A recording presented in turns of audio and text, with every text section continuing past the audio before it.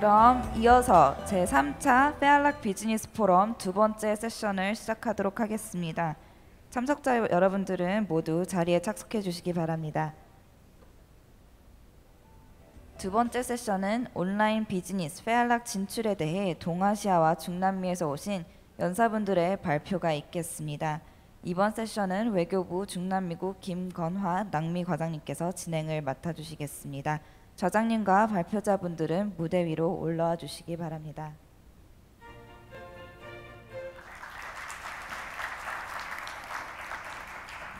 안녕하십니까. 그두 번째 세션을 맡게 된 김건아 과장입니다. 그 어제 이틀 동안 저희가 한 행사는 그 4차 산업혁명과 그 한국과 중남미의 그 협력 방안을 논의하는 자리였습니다. 오늘은 두 가지 점에서 차이가 있습니다. 어제는 어제까지는 이론과 정책에 대해서 얘기했고요. 오늘은 그런 이론과 정책을 바탕으로 실제적인 문제, 비즈니스에 대한 문제로 이렇게 조금 더 현실적인 그 테마를 다루게 됐습니다. 그리고 두 번째는 어제까지는 한국과 중남미였는데 이제 한국이 포함된 동아시아와 중남미에 대한 그 지역적인 확장 차원에서 4차 산업혁명을 이해하는 그런 자리입니다. 시작하기 전에 한, 한 가지 뭐그 음, 양념 비슷한 말씀드리겠습니다. 혹시 그 비즈니스라는 말의 어원을 아시는지 모르겠습니다. 이 비즈니스는 말 그대로 비지에서 나왔습니다. 바쁘다에서 나온 겁니다. 그 오늘 여기 계신 비즈니스 하시는 분들 다 바쁘시죠. 근데 어제까지 공무원이 하셨다 그래가지고 공무원분들이 바쁘지 않았다는 의미는 아닙니다. 여기 있는 계신 분들은 여러모로 바쁜 분들인데 비즈니스를 하시니까요. 근데 안 바쁜 것처럼 보일 수도 있습니다. 그리고 어떤 분은 아주 바쁜 분처럼 보일 수도 있고요. 근데 실제는 제가 생각하기엔 머리가 바쁜 분들입니다. 여러 가지 그 비즈니스나 세상을 바꾸는 방법에 대해서 항상 생각하는 분들이기 때문에 이분들 머리에 차 있는 것 중에 하나가 효율성이라고 생각합니다. 제가 이 시작하기에 앞서서 그 발표하는 분들이 그래서 가능한 그 우리 비즈니스맨들의 그 역량을 보여주시기 바라면서 짧고 아주 핵심적인 내용으로 중심으로 발표해 주시고요. 그 다음에 질문을 통해서 그 보완하는 그런 형식이 됐으면 좋겠습니다. 그럼 먼저 어, 우리 한국무역협회 이비즈니스 지원 본부장이신 조한희 부장, 본부장님 어, 먼저 발표하시겠습니다. 그 여러분들 함께 같이 저희 무역협회에 대해서 소개를 드리고 또 저희 무역협회가 어, 운영하고 있는 두 가지 그이 비즈니스 서비스인 트레이드코리아닷컴과 어, K몰 24를 소개할 수 있게 돼서 기쁘게 생각합니다. 제 발표 순서입니다. 아마 어, 여기 계신 한국 분들은 대부분 기타에 대해서 알고 계시겠습니다만 어, 또 외국에서 오신 분들을 위해서 간략히 기타에 대해서 설명을 드리고 제가 어, 말씀드리고자 하는 메인 토픽인 트레이드코리아닷컴과 K몰 24에 대해서 소개를 드리고 또 저희 기타가 하고 있는 글로벌 마케팅 그 노력을 어, 간단히 소개드리면서 마지막 어, 결론을 말씀드리고 오늘 발표를 마치도록 하겠습니다. 먼저 우리 무역협회입니다. 어, 굉장히 오래된 역사를 가지고 있습니다. 1946년에 설립됐고요. 어, 우리 한국 정부가 1948년에 설립이 됐습니다. 정부 수립보다 2년 먼저 또 한국 전쟁인 1950년보다 5년 전에 이렇게 일찍이 설립이 돼서 71년의 역사를 가지고 있습니다. 보통 그 여러분들이 그 트레이드 어소시에이션 하면 많은 그 어, 나라에서 비슷한 단체를 어, 가, 어, 보셨을 겁니다. 그러나 그 기타는 좀 독특합니다. 저희 그 어, 직원 수라든가 또는 저희가 가지고 있는 리소스라든가 또는 하고 있는 일, 또 국내외 네트워크 이런 분에서 많은 그 차이가 있습니다. 저희는 그 10개의 그 어, 해외 브랜치 오피스를 가지고 있습니다. 또 13개의 로컬 브랜치 오피스를 가지고 있습니다. 어, 뭐 하고 있는 데 굉장히 다양합니다. 저희 직원 한 350명 정도 되고요. 그 트레이드 어, 정책 건이라든가 연구, 또 글로벌 바이어셀러 매칭 서비스, 또 어, 무역 정보 데이터베이스라고 하는 기타넷 또는 트레이드 나비를 운영하고 있고요. 또 각종 그 민간 통상 외교를 함께 하고 있습니다. 물론 제가 맡고 있는 어, 온라인 오프라인 어, 트레이드 인프라스트럭처를 이렇게 운영하게 돼 있고요. 그래서 다른 그 일반 트레이드 어소시에이션하고 좀 다른 그런 면이 있습니다.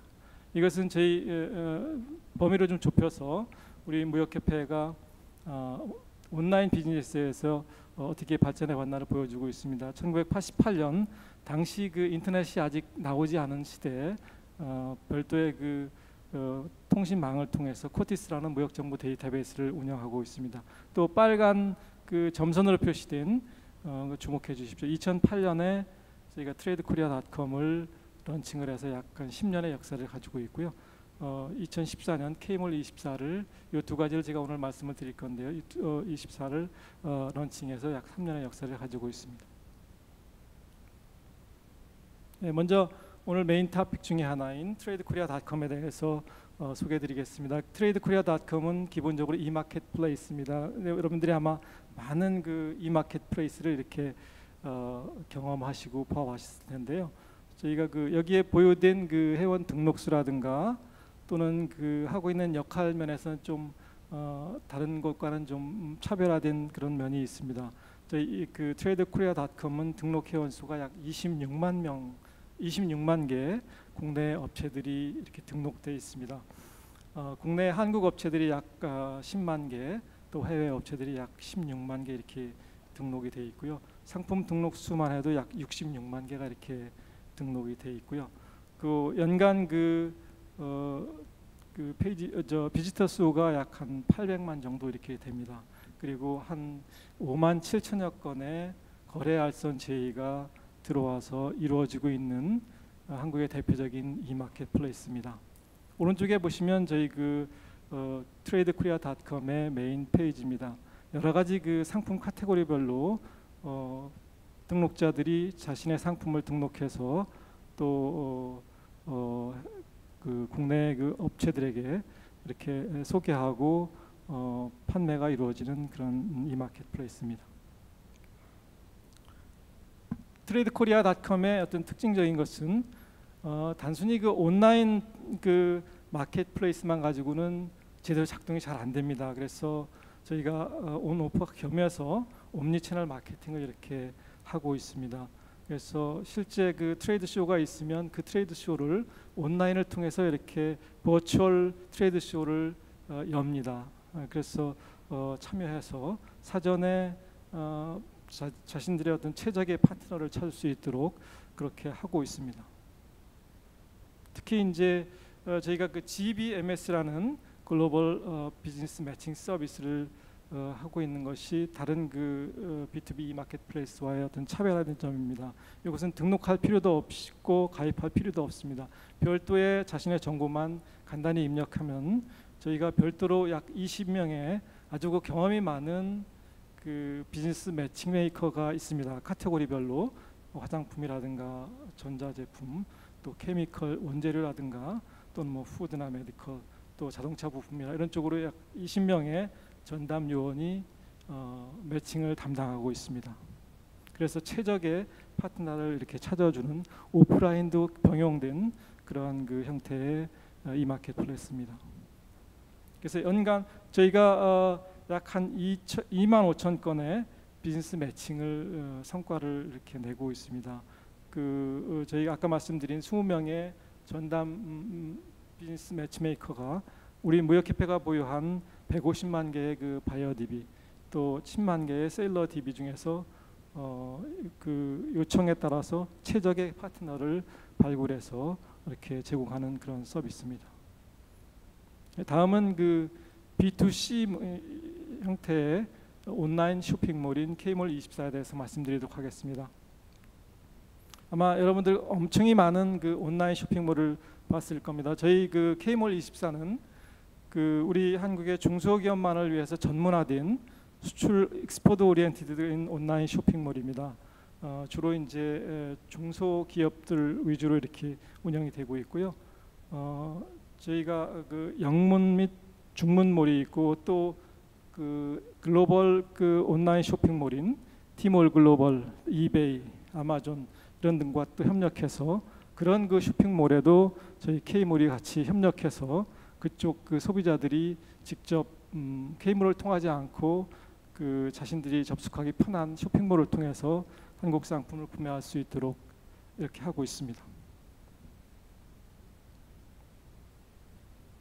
어, K몰에 일단 등록이 되면 저희가 그잘 어, 잘 알려진 중국의 그 웨이브라든가 페이스북 또 인스타그램 통해서 이메일 마케팅을 합니다.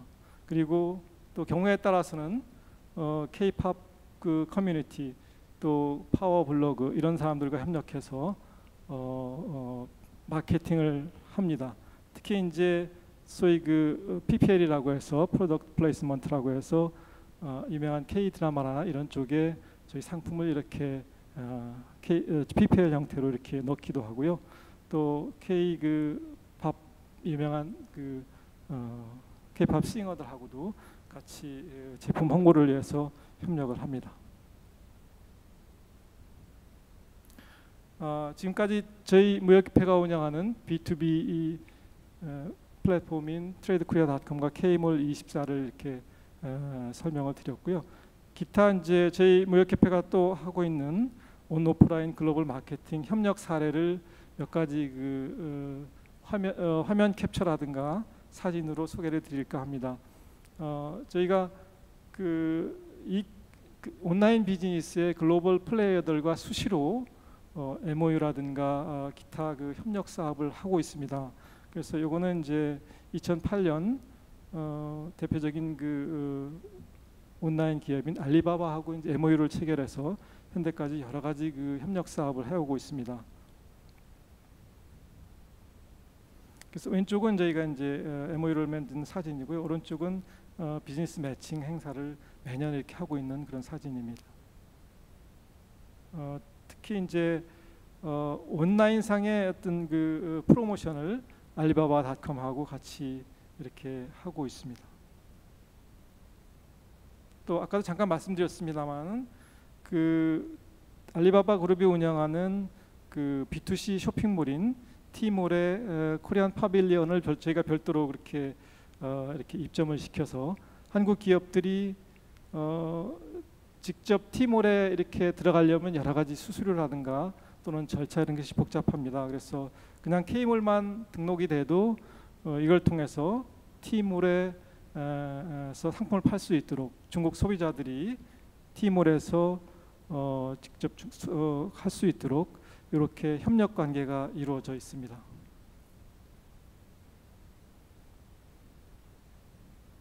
뭐 T 어, T몰 내에 있는 그 K몰의 사진 캡처입니다. 또 어, 경우에 따라서는 그 여러 가지 그 행사를 같이 하고 있는데요. 작년 같은 경우 한국 우수 상품 디자인 및 어, 타오바오 진출 상담회를 어, 송악리에 이렇게 한 적이 있습니다.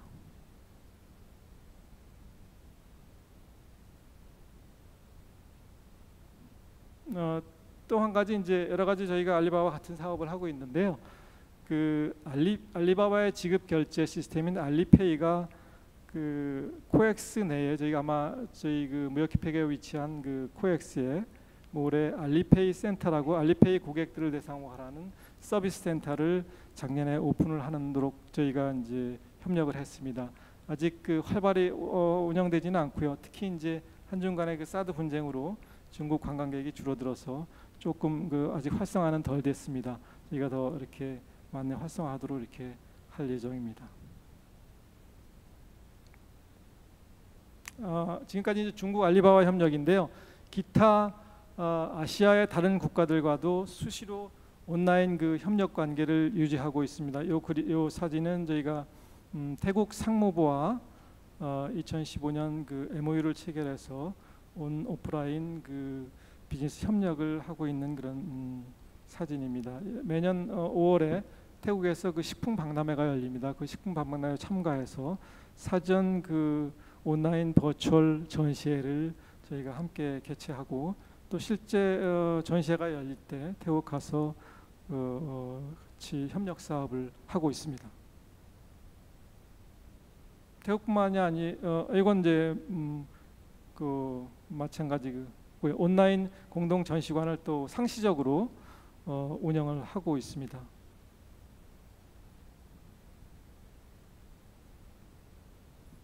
태국뿐만 아니라 이제 베트남도 저희가 어, 비슷한 사업을 하고 있고요. 베트남의 그 경제기획부 투자 기획 및 투자부하고 어, 이렇게 협력 사업을 하고 있습니다. 맨 그 사업은 뭐 비슷합니다. 베트남 어, 상품 또 한국 상품을 서로 소개하는 그러한 그 어, 사업을 하고 있습니다.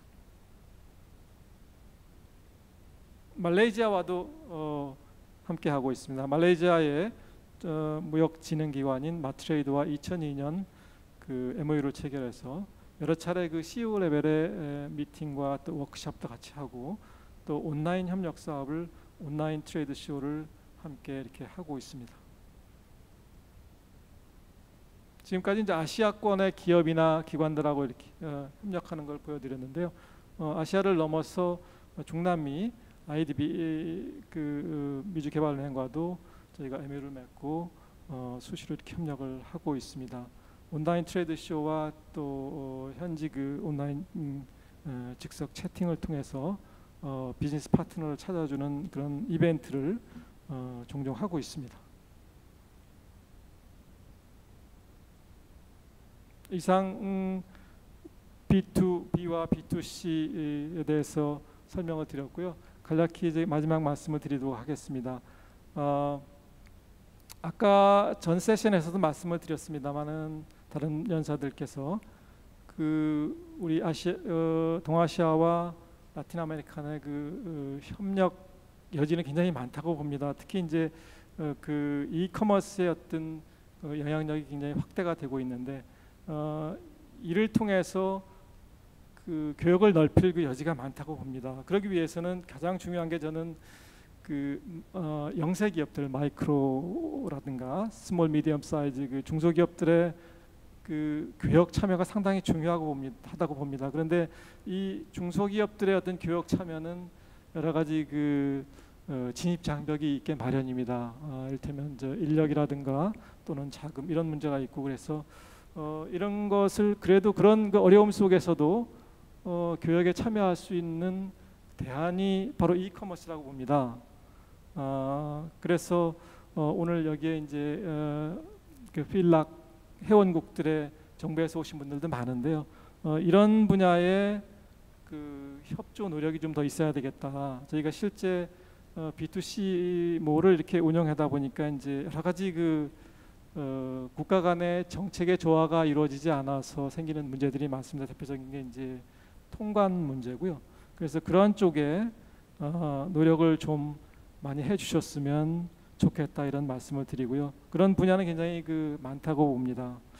아, 그리고 마지막으로 어, 저희 무역협회는 아, 앞서 보셨지만 여러 그 어, 이커머스 또 온라인 비즈니스 어, 글로벌 플레이어들과 항상 협력하고 또 앞으로도 여러 가지 그, 그 공, 사업을 공유할 그런 의지가 있고 준비가 돼 있습니다. 어, 어, 기회가 된다면 어, 그런 음, 어, 파트너로서 한번 했으면 좋겠습니다. 이상 발표 마치겠습니다. 고맙습니다.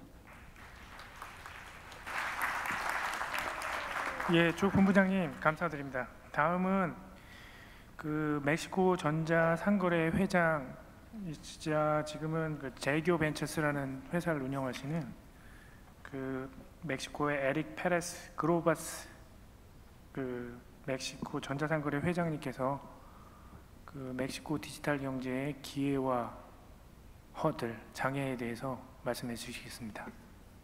박수로 환영해 주시죠.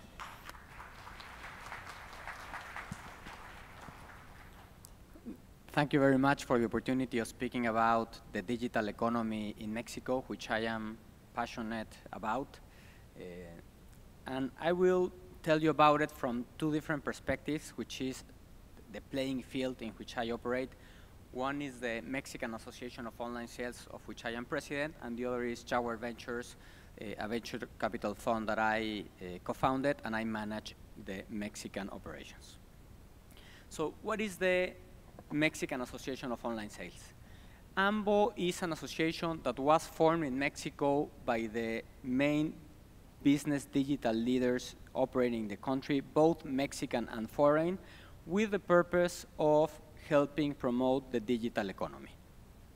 And we do it in two different fronts. on one side, we try to uh, do lobbying to, to, to have best policies that can promote and enable e-commerce in Mexico, that can enable the digital economy in Mexico. And on the other hand, we have what it is already the most relevant e-commerce event in the country, which is Hot Sale, that has the purpose of bringing people into the digital economy. I, I will tell you more about it later on. My second point of view comes from my, my daily job, which is uh, managing Jaguar Ventures in Mexico. We are a venture capital fund that has identified that mainly thanks to mobile broadband, Mexicans and the rest of Latin America are going to be able to get services and products that previously they were not able to do so. And I want to start by telling you about one example that I think speaks about the potential of the Mexican digital economy. Not many people know this, but at least last year, Mexico City was the most relevant city for Uber worldwide in terms of of travels generated. And this includes the US, and this includes all the countries where Uber operate. Why is that? Why has Mexico City been able to be the most relevant market in terms of travels for Uber? The reason is that in Mexico, we already have a sizable digital population. We, have, we are the fifth largest country with Facebook users. We are the eighth largest country in internet users. We are the fourth country in time spent on social media. And not only we are already large, but we keep growing. Last year, we were the third country with internet users growth. And this is a very interesting data point, and I think is that Mexico City is the second largest city in the world with active Facebook users. What about e-commerce? Even though in AMVO we are interested in the whole of the digital economy, we know that the key part of it is e-commerce. It's only a part of it. You cannot say Uber is e-commerce. There are many things in the digital economy. But e-commerce is the most relevant industry that we need to push. So in the case of Mexico, fortunately, e-commerce has been growing uh, at a very nice pace, 45% per year for the last seven years. That being said, it is still small relatively to the size of the Mexican economy. It represents less than 1% of the economy. Last year, we estimate that it represented 17 billion US dollars. Uh, it, it's a nice size, but it's still very small with regard of the size of the Mexican economy. Why is this? Why is, on one hand, as I mentioned you, we already have a lot of internet users. However, they still are not buying a lot through uh, online. The main reason is the low penetration of financial services. Unfortunately, in Mexico, less than 40% of adults have a financial account. And that obviously means that we also have few credit cards. We have less than 20 million credit cards. That is less than 15% of the total population if you do not have an efficient digital payment system, it's difficult to develop a digital economy. And that, and if you see in our portfolio, you will not be surprised that we are heavily invested on financial tech because what it's an area of opportunity, it's also a great potential of investment particularly because through mobile, many Mexicans are going to be able to become part of the, of the, of the financial world. Uh, to mention the examples in which we have already invested, Conekta. Conekta is a digital payment platform that just last year got an investment from one of the largest companies in Mexico called FEMSA, $6 million. Konfío. Konfío is a digital platform that it's enabled loans for small and medium companies that are not being served by banks in Mexico. Uh, we, we, are very happy that it has already attracted the interest of one of the most relevant fintech investors in the world, which is QED. Nexu. Nexu is a marketplace that is helping Mexicans be able to obtain a credit to acquire a car. And then we have Solvers, which is a a marketplace of, uh, uh, of services, of, of, home services, that through its platform, it's also helping these people to start having financial services. But I have to admit, we are not the only ones that have realized this potential. Just last year, these uh, are two examples of transactions that took place in Mexico. Uh, as you well know, BBVA is one of the largest banks in the world, and it acquired a digital payment platform called OpenPay. And you also have General Atlantic, one of the largest financial investment institutions in the world, that last year invested in Clip, that it's a, uh, an electronic point of sale service for small and medium companies. So as you can see, I would like to say that Jaguar is the only one that have realized this, but we're not the only ones. There's a huge opportunity, and large players have already realized that.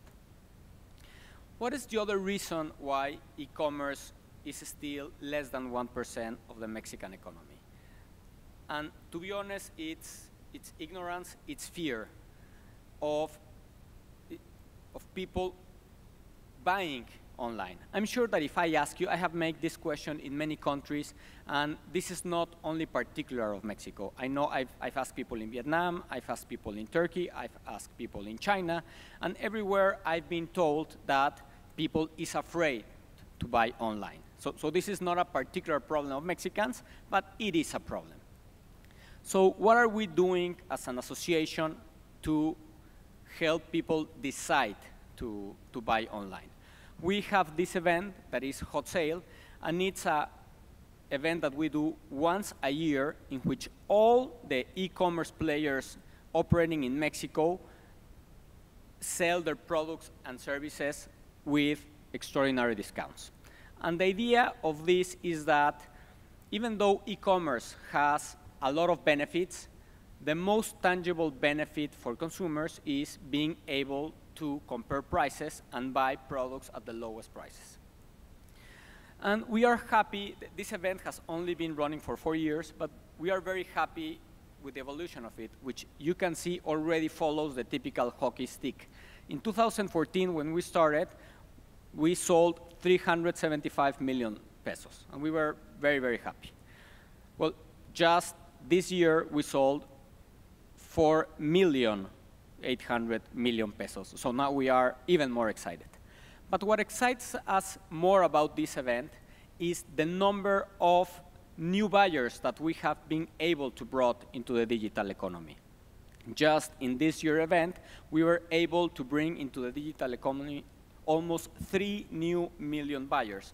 If you combine all the buyers that the event has been able to bring into the digital economy in the last uh, five years, it's almost, it's, it's, more than 5 million buyers. So, so we're very proud and happy about this event. What type of companies participate? We have more than two, 260 companies participating. These are just a, a, sample of the companies that I choose to show you because all of them are prominent e-commerce uh, companies that I believe most of you will know. But obviously, besides this, we have a lot of Mexican e-commerce sites, and nothing will make me more happy than if next year we can put in this slide companies from Asia. I more than one of the companies that I'm showing here actually bring their products from outside of Mexico. eBay and Amazon has a, a strong cross-border operation. And there are already some Asian uh, companies selling to Mexicans. Uh, Alibaba is one of them. So if you're interested in selling to the Mexican market, I would be very, very happy to talk with you in private about this. Something that, that I think it's very important is that more than half of the visits to this event came from a mobile device. And when you speak with the retailers that sell in the event, several will tell you that most of their sales were done through a mobile platform. To give you an idea, mobile commerce grew 64% in Mexico just last year. So if you have uh, e-commerce mobile platform that you think can work in Mexico, we will be more than happy to help you uh, operate. To, to finish and, and, and, be efficient of, of our time, uh, in a nutshell, so we have in Mexico a large, an already large and growing internet population. The, the market is there. we have a small e-commerce market relatively to the, to the size of the economy, 17 billion.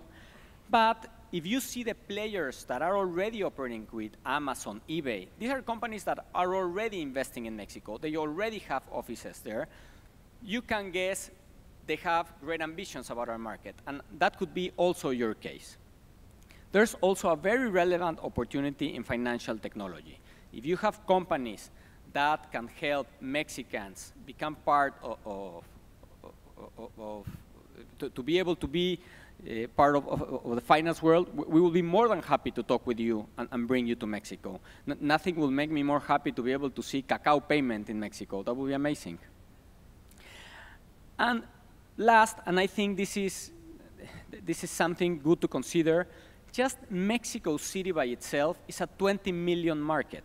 And I think that makes things very easier to operate a digital uh, business in Mexico. I think in the case of Uber, just being able to have such a big market in Mexico City facilitates things to then operate in the rest of the country. There are not many countries that have more than 20 million uh, population that most of them are already online. So to conclude, if you're interested in coming to Mexico to be part of our digital economy, I will be more than happy to talk about. Thank you. 감사합니다. 다음은 그 중국의 왕샤오 부사장님입니다. 그 부회장님인데 이지 어, 넷 이지라는 회사인데 우리로 치면은 한국의 네이버나 다음 같은 그 중국 최대 포털 회사입니다. 그 우리 부회장님이 오늘 발표하실 때는 그 중국 소비자를 소비자에게 접근하는 가장 좋은 전략에 대해서 발표하시겠습니다. Uh, thank you. Thank you for your kind introduction. It's a great pleasure for me to be here to introduce um, uh, a new leader in the cross-border e-commerce and which believe will be a very efficient and effective way to, uh, for those uh, partners in the region to reach the huge Chinese uh, customers. Well, first of all, I would like to talk about, actually, previously we always think China is the global manufacturing uh, center or workshop, but nowadays it seems that things are changing. Um, people are talking about economic growth um, um, uh, flattened or uh, it's not as good as uh, a couple of years ago. But at the same time, you can, you can see that um, the structure change is happening. Now the China's economy is more driven uh, by the consumption rather than the export. At the same time, the middle class is growing, although the um, uh, rural uh, population is still relatively high, but urbanization is going on there very fast. And according to some figures, about 40% of them are the middle class. So perhaps China is having the largest middle class in the world nowadays. If I use a couple of um, keywords to summarize the China economy, well, uh, let me um, uh, use uh, McKinsey's um, uh, report. it summarized five key points, key words. Of course, consumption and digital are relevant to us. When we are talking about e-commerce, um, well, we are talking about uh, infrastructures for that. Uh, so as far as I know, if I want to summarize some um, key infrastructures there, well, uh, smartphone market is important. And also another important element is that uh, the users who use the smartphone to search on or to surf on the internet, it's also important. Uh, one interesting thing is that um, the China is very advanced in the delivery, the uh, delivery system. Uh, well, for example, last year, the global delivery parcels um, uh, are around 70 billion, and China alone is about 31.3 billion. So there's about uh, uh, over 2 million uh, people are working on the delivery. So because of all those elements, China has already become the largest uh, online market or B2C market in the world. And um, uh, although the, the uh, retail business is growing, we can see that the e-commerce is growing in faster space. And um, um, of course, the trade is going on, but when we are talking about cross-border e-commerce trade, it's, um, uh, it, it, has, it enjoys uh, uh, much more uh, speedy growth. Uh, if we look at the penetration of those uh, categories in the e-commerce, we, well, there's a, a graphic there. Um, there's a very high penetration both in sales value and in online shoppers' adoption of these categories. It's very interesting. Um, well, I want to give you a couple of examples of uniqueness of China market. Um, well, it, it tells about how the ladies or women make the purchasing decision journeys in the Chinese families. They play different roles, um, sometimes as the uh, housewife, sometimes as for their daughters, and sometimes uh, as the mom, as the mom to take care of the babies, and of course, more important, to take care of themselves. So in China, if you can conquer or if you can uh, buy the hearts of the women, then you win the, uh, in the uh, e-commerce.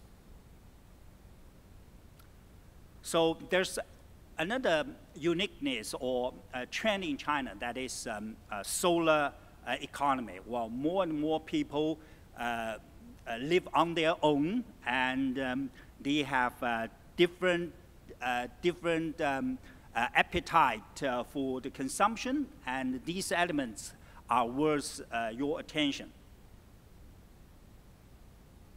So when we are talking about e-commerce, uh, so what is cross-border e-commerce? actually, the Chinese government has taken bold initiatives to unilaterally open this kind of cross-border e-commerce or giving the more favorable policy support to cross-border e-commerce. So when we are talking about uh, trading, there's always technical or non-tariff issues that is uh, all your export needs to be compliant with the local technical standards. Um, and, uh, well, the Chinese government simply says that, okay, we have the pilot policies for the cross-border e-commerce. You don't need to be local compliant. And um, if you do the uh, cross-border e-commerce, there's always tariff uh, issues.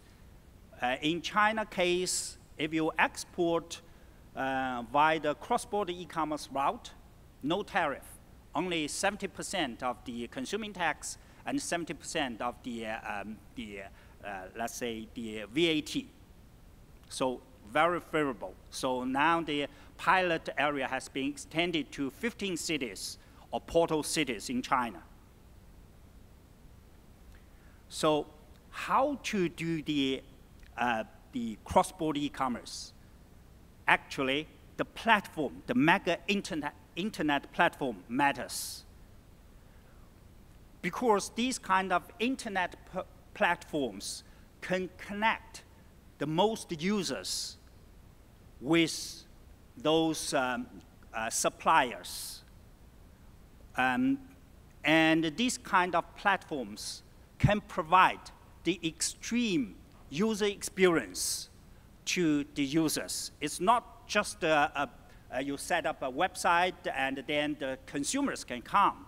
Uh, it's not the case because um, in a lot of cases, the consumers come to your platform, they not only want to buy the products, they come here to enjoy the internet services. Some, some of the services are even free. So when we are talking about huge platforms, internet platforms uh, globally, you can see, of course, Facebook is the largest, um, has the largest users. And then if you come to China's um, huge internet platforms, of course, NetEase email services, is, is the largest. Of course, WeChat we, um, is uh, by, owned by Tencent. Uh, NetEase online dictionary, well, it's ours, and our news portal is also huge. So let me touch briefly on NetEase. Well, it may not be no, well known to, to you all, but NetEase um, is um, uh, famous in, in the internet space in China. It was uh, uh, set up in 1997 and then listed in US. Uh, and it's nowadays one of the largest, or should be the largest internet company in China with users over 930 million. So that is our financial report, shows our continuous uh, success all the way around. So these are our key uh, apps on the internet. We are the largest email service provider in China with the users over 930 million. You can compare us with the Gmail in the world. Um, of course, we are the uh, leading uh, online game developer in China with users over 400 million, while we also have the information or news service. And uh, uh, just to mention that on the, on the education side, we are, we are dominant on the online dictionary, free, based on the uh, uh state-of-art technology of AR, of the neural uh, science, to do the more than uh, two, 20 languages translation with the best voice recognition technology there of course, online music. We are the leader in China, and uh, online education, and of course, e-commerce. We are the, in the cross-border e-commerce space, we are the number one in China. Uh, uh, we have the uh, more than 500, 5,000 brands from over 800 and serving the uh, Chinese uh, consumers, or rather NetEase consumers. Um, uh, of course, uh, based on last year's uh, figure, we accounted 21.6% of the market share, leading our competitors in China. We are also ranked as the number one among the, uh, the, uh, uh, the genuinity of the products and the satisfaction of the users in China. This is also ranking by Nielsen in in the relevance of the global brands to the consumers. When you talk about the global brands to Chinese consumers, they will always come to us. Of course, this is also another um, data on this uh, conversion rate, on the uh, exclusive exclusivity of the users, and all these um, uh, relevant figures. Then what is the strength of us? Why we have become the leader in that? When we are talking about e-commerce, the first generation of e-commerce based on search technology makes things easier for the consumers to choose what you want. And then come to the second and the third. We, we believe it's the third stage of the e-commerce.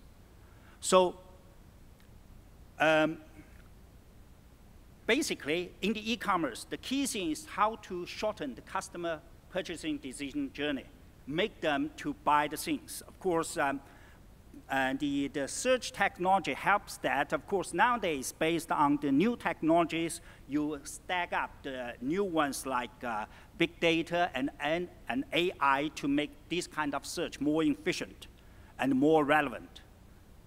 Well, the second stage, or we call e-commerce 2.0 is based on the content. So you need to uh, interact with your consumers with more information they like. So that's why you see nowadays a lot of uh, um, the um, uh, first generation e-commerce uh, big players, they add up the new business like, uh, well, uh, TV, video, or a lot of many other things, content-related things. For us, we, for NetEase, we are a media company in essence, so we have these, kind of content services to do the ranking promotion, live broadcasting operation, and the scenario lifestyle uh, for those consumers. nowadays more and more e-commerce happen on the mobile phones. In China, in our case, 85% buyers buy the things on the mobile uh, uh, uh, on the mobile phones. So in the mobile phones, on, in the mobile world, how can you make your uh, your selling with the immersive apps to create those kind of um, scenario buying uh, situations for the users to attract them to make the discretionary consumption and also aspirational consumption. So it's a challenge thing for the new generation, or we call 3.0 uh, e-commerce. For NetEase, we solve it easily because we have so many immersive apps um, in our ecosystem. For example, emails you may check uh, many times a day, while uh, online dictionary, uh, entertainment, whatever, even uh, online payment. So we have created this kind of immersive apps in the mobile internet world to make this kind of uh, scenario consumption possible. So for NetEase, we provide all-around services to our partners. Uh, we set up the, um, the most uh, uh, bonded area uh, warehouses across China in these government um, designated 15 cities across China. Of course, we also set up our uh, offices across the world to be close to our suppliers, to the partners. We provide the uh, uh, all-around services uh, from um, uh, settlement, warehouse, logistics, promotion, and everything to make it easier for the global brands to be sold to China on our platform.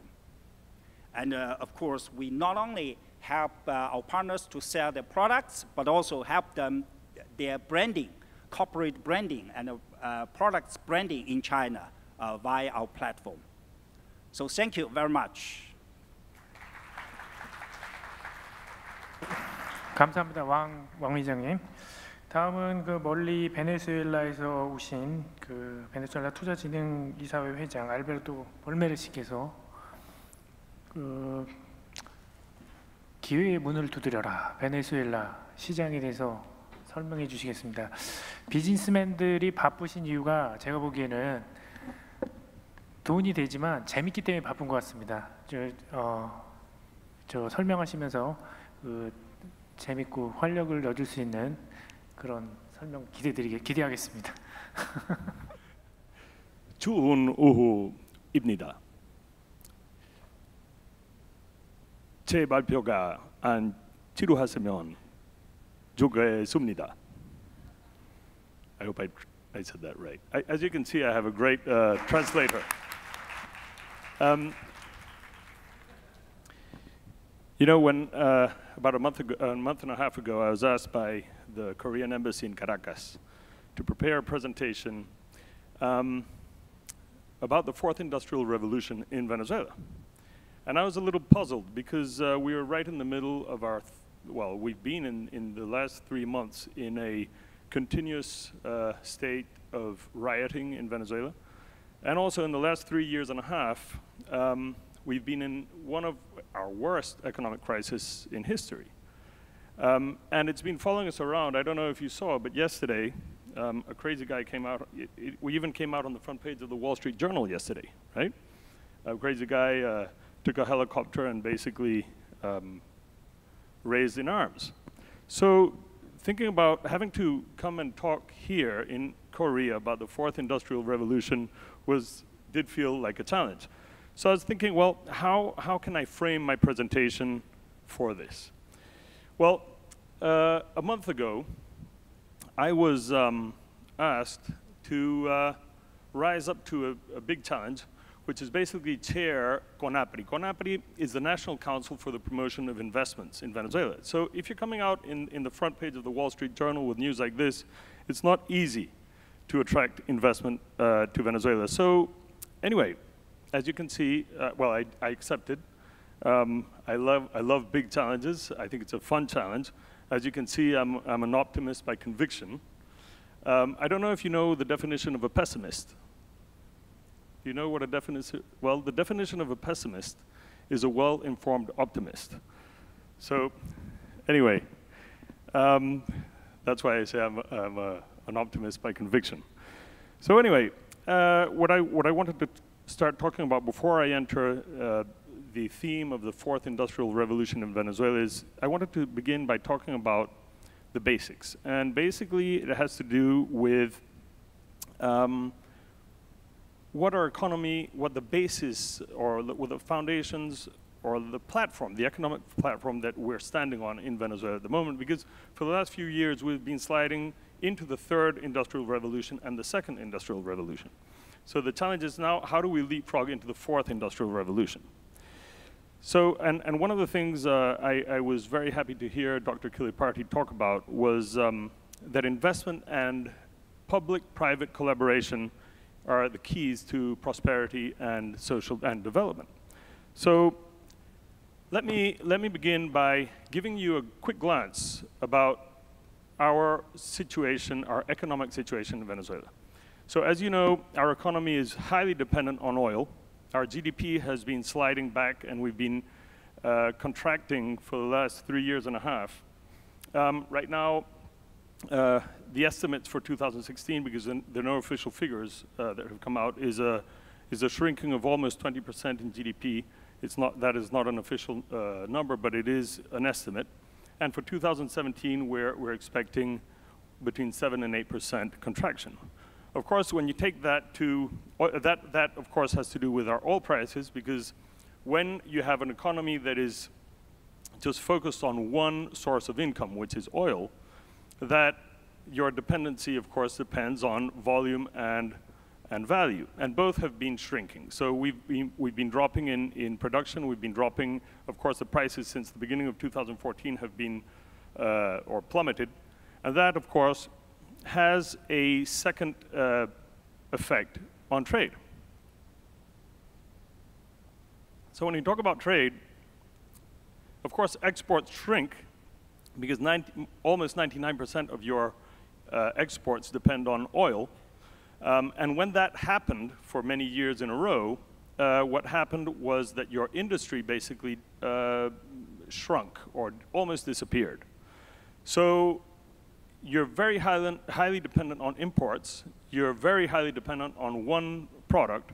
And of course, that has the effect that you're seeing now, basically scarcity and uh, uh basically uh, talent uh, um, exodus, and of course the different elements that we see in the Venezuelan crisis. Now, what is what has been a positive signal in the last few years, and I, I, I do want to focus on this because this is the beginning, possibly the beginning of uh, positive changes towards a more open economy in Venezuela. In 2015, we started seeing or listening to the president talk about uh, exports. Now, when, when you talk about exports, non-traditional exports, in Venezuela, non-traditional means not oil. That is good, because then little by little you start a process of promoting that and making it easier to export. So I just wanted to dwell a little bit on what is blocking investment for Venezuela. Basically, I mean, uh, let's say, uh, in the press what you read is about the polarization, the political polarization and of course insecurity. Those are like the very obvious things. But what's underneath that surface is a closed economy. So until we take the economic measures, we will not be able to attract investment. And the other, the other thing that, we, that is very clear to me, or to us in CONAPRI, is that we won't be able to start agreeing on the rules, the economic rules that we need to attract investment until both sides sit down and start building agreements.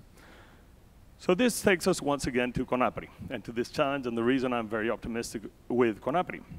Um, CONAPRI is a, an institution that was founded in 1990. It was, uh, this was maybe eight years before President Chavez was elected into power.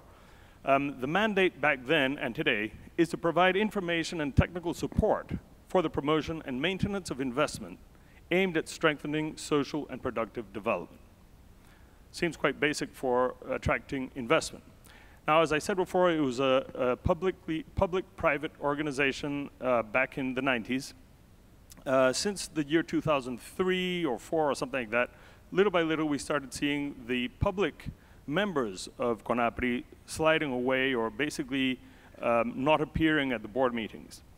Um, and that is actually a problem because then that discussion is not happening. That discussion of public, private, and basically the practitioners thinking about the future. So our challenge is how do we get the public entities, let's say uh, uh, state-owned companies or public entities to enter the discussion once again with the private sector. And we think that CONAPRI is probably that uh, table where we can attract both sides, both parties, to discuss and to build uh, consensus.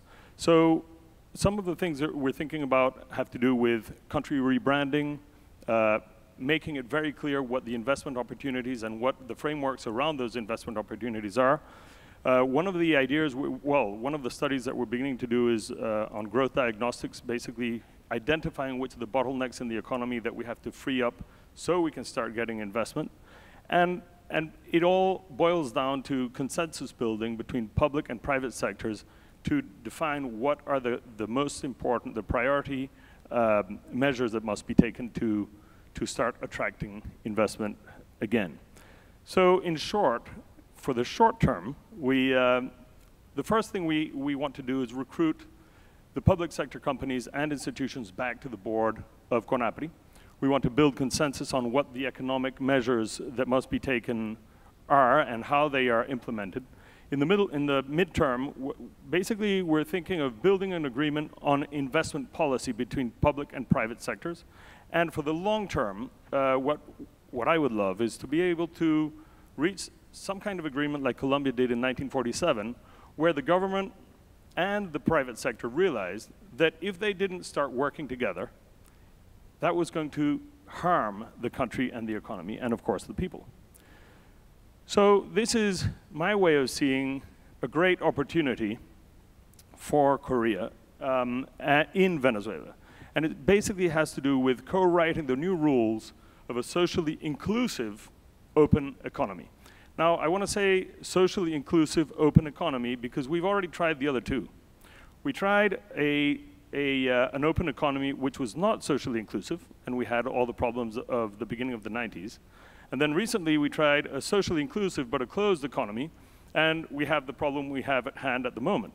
So the question is, how may we rewrite the rules to, a, to find or to build a socially inclusive open economy? So if we can actually manage to do this, one of the things that we see is that Venezuela will have a very fast bounce back capacity, basically because we're sitting on the biggest oil tank in the world. Also because we have all the, all the natural resources we can imagine, even wish for, but also talent. We have all, we have incredible assets in Venezuela.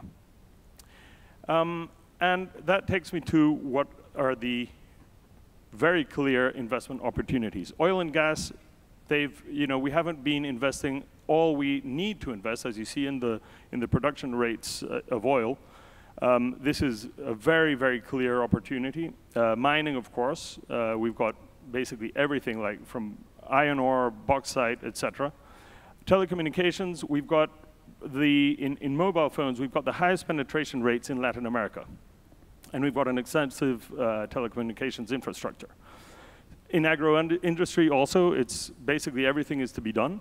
And, and tourism. Tourism, you'll see at the end, I've got a short video, but you'll see the, the capacity or the potential we have in terms of tourism. Of course, if we manage to tackle the security issue, which I think is also a huge opportunity. I wanted to show also an example of uh, Korean investment in Venezuela. Right now, it's one of the biggest investments there are in Venezuela. It's a, it's a joint venture between PDVSA, Hyundai, and Wison, uh, a Chinese company. uh, where the investment is of 10 million, bi- billion dollars uh, for processing crude oil of up to 210,000 barrels a day uh, from the Orinoco Belt.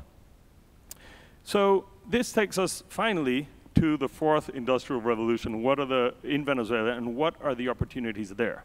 The way we see it in CONAPRI is, first of all, it has to do with e-governance, and it basically has to do with institution um, uh, uh, strengthening. And precisely where Korea has the best e-governance practices is where Venezuela has its breaches and where we can we can we need a lot of help. And it has to do with government integrated data centers, with customs clearance, electronic systems, online online patent systems. It's all to be done. Also, smart towns. Uh, Venezuela is among the countries the, in the region with the largest number of mid-sized metropolitan cities, uh, and we're talking about close to 40. Um, and they're all lagging behind in investment and development. And so here, there's a, a, an opportunity for uh, venturing with, with these cities and private sector, uh, basically to, to start investing in infrastructure. Also in human resources, for the last 20 years, Venezuela has been investing heavily in, in uh, education, in IT and, and technology. Um, it's a shame that a lot of these have left. I was talking to Juan Elias before. He's got a team of Venezuelans down in Chile, but I've heard there are lots of Venezuelans in Panama, in Spain. They're all over the place, even Abu Dhabi. Uh, and so one of the things that I would love is that the day we start having very clear rules on the economic side, we start uh, attracting these Venezuelans that have left. And what I always say is that the best immigration we'll ever have in our history is when those Venezuelans come back to Venezuela.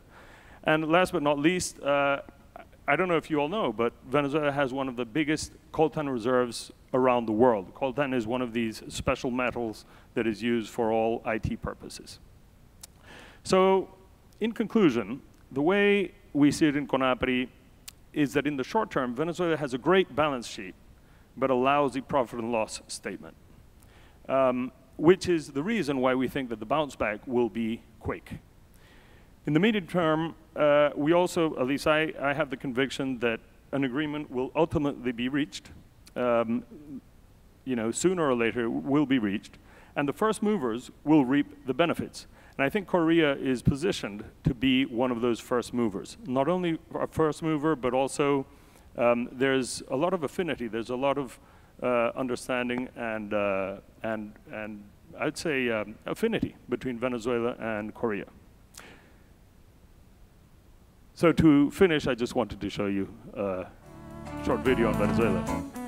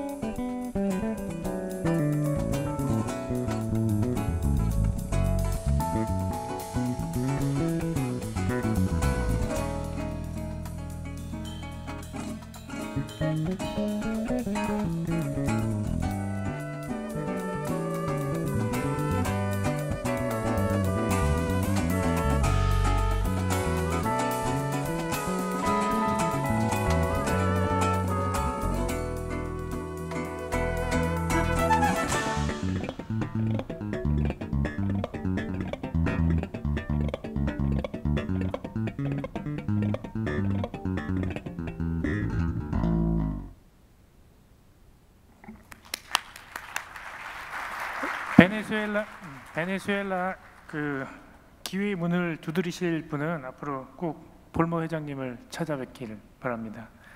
다음은 그 베트남에서 리 마이앙 그 부회장님 오셨습니다. 이 성이 안씨입니다. 어디 본가가 어딘지 모르겠지만 안씨입니다. 어제 제가 여쭤봤습니다. 안 회장님께 큰 박수 부탁드립니다.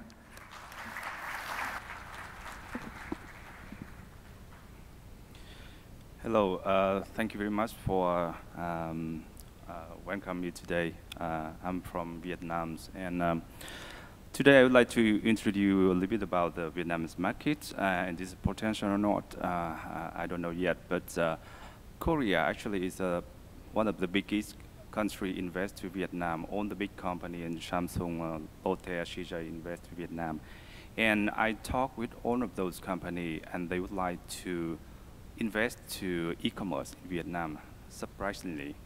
And uh, why is that? Uh, I would like to give you a little bit information about uh, e-commerce uh, in Vietnam, and uh, I hope you, any company or anybody who in, uh, would like to invest to e-commerce in Vietnam can have understand better understand about that.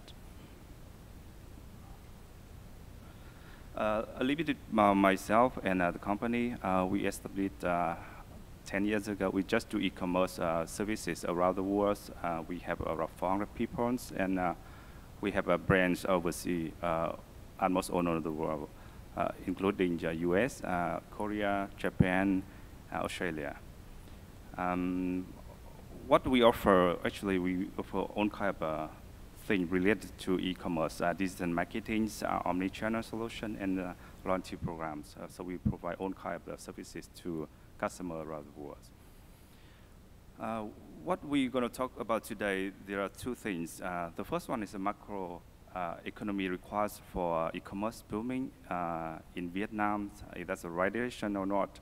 Uh, the second one is the evolution of e-commerce industry finance and uh, reinforced to this optimistic and I would like to give you a little bit about what factors, key factor impacted to e-commerce in Vietnam, there are four key factors. The first one is e uh, economy. The second one is uh, internet shopping access, geography, uh, distributions about the population in Vietnam, and the last one is the payment methods. Uh, Vietnamese economy uh, in the last five years is a very, very stable. It's around 77% growing rate uh, in the last five years, and estimatedly uh, around uh, keep the same in the next five years. So Vietnam is one of the most promising country and which comes to GDP evolution at, at, the moment, and hence a very promising country overall.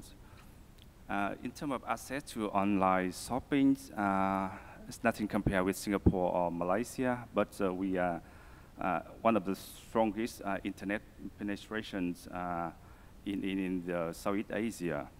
Um, in terms of uh, number of users, uh, Vietnam have a 90 million uh, in population in 50 million internet users in Vietnam and expecting growing to 50% more in the next five years. But in terms of smartphone usage right now, mobile phones uh, is very low uh, comparing with other countries. I don't know why it's happened, but uh, in terms of buying online via mobile phone is very limited uh, number using mobile phones. Geography and populations, uh, Vietnam is uh, least urban uh, of the country. Uh, we don't have, uh, we have only two biggest areas, one in the north, Hanoi, and the south is Ho Chi Minh City. In terms of populations, 50 million, use, 50 million um, is in the Ho Chi Minh City and 10 million in, in Hanoi, which is cover on until uh, one quarter of the population in Vietnam. And this is uh, impact um, more in the, uh, in the logistic and, and the e-commerce uh, system in Vietnam. And payment methods, uh, Vietnam is very low credit card users. I think 95% e-commerce uh, transaction in Vietnam using uh, COD, cash on delivery, and 20% uh, using credit cards uh, only. The, the problem with that is the the user behavior is that they don't trust us about the online thing uh, right now. So they just uh, more trusted about the look and see in, in the and what what they see.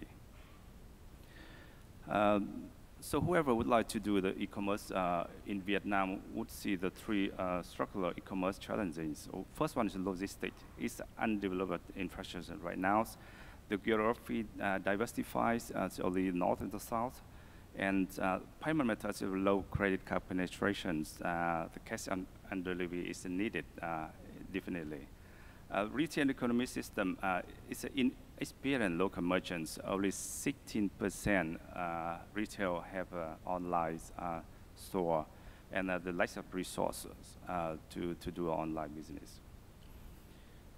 So uh, thing to consider about the doing uh, e-commerce in Vietnam, uh, I think is right now, uh, Vietnam is a par with uh, all other country in, in Southeast Asia, uh, considers the e-commerce relevant as any APEC company, uh, uh, country.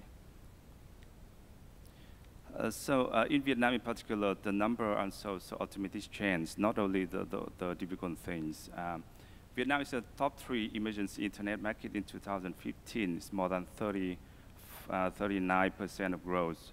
Uh, revenues come from e-commerce market uh, is around 2 billion in 2016, and expecting is 4 billion in the next five years. This is very promising for us. Uh, in terms of uh, the segments, uh, electronics and media, uh, footwear and um, clothes, this is a, it's biggest or volumes, uh, it's almost a billion in 2016, which is for young people. remember that 70% of Vietnamese people are around 30. this is a very strong buying in the near futures. Uh, the growth across all sectors is uh, almost 50% from uh, 2014 until uh, 2016 uh, in all uh, segments, uh, especially in apparel and footwear and consumer electronics. The ecosystem of e-commerce is being established. all the services providers ready right now, own brands from overseas coming, all the retails is ready at the moment. And uh, the growth number of uh, partners to create a strong e commerce system. Uh, you know, you can see the Lotus is coming, CJ, Samsung is coming already, and I expect more uh, and more partners coming to uh, to the market. And uh, do you believe in the massive e-commerce in Vietnam? Uh, the, my answer is yes. Uh, and uh, there is very promising country to come in to do e-commerce. So, and thank you for, for listening. 감사합니다. 자, 안 회장님. 베트남 스마트 OSC의 부회장이셨습니다. 그 중남미 아마 베트남하고 가장 지리적으로 비슷한 나라가 있는 것 같습니다. 길쭉한 칠레 있는데 이번에 다음에 칠레에서 오신 야뽀의 CEO 후안 엘리에스 예, 사장님께서 온라인 세일즈 인 칠레를 주제로 발표하시겠습니다. First of all, thank you. Thank you very much for this invitation. It's, uh, we, really, uh, we really feel really proud to be here uh, to represent and to talk about online sales in Chile. Uh, my name is Juan. I am, I am the CEO of a, of a Chilean company. Uh, what we do is online classified sales.